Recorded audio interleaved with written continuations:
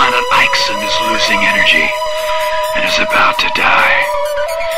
Our people will not survive unless Ixon's energy is replaced.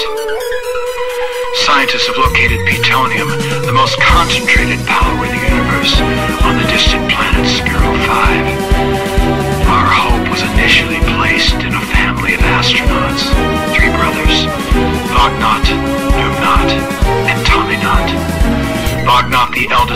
strongest, took off in his ship and crashed. Numnaut, the middle brother, was known for being a risk taker and took one too many risks before blowing up in space.